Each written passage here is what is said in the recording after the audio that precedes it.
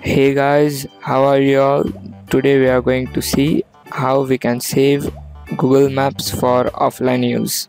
So, first of all, you will need to download Google Maps from Play Store. After you have done that, just go ahead and open it. Now, let's say you want to save an offline map of New York.